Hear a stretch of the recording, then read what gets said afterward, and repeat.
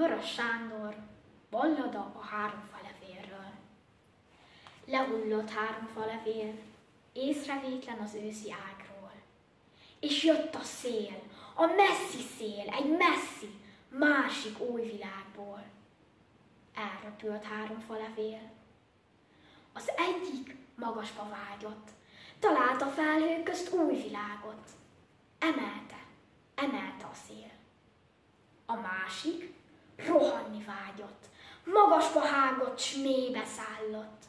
Sodorta, sodorta a szél.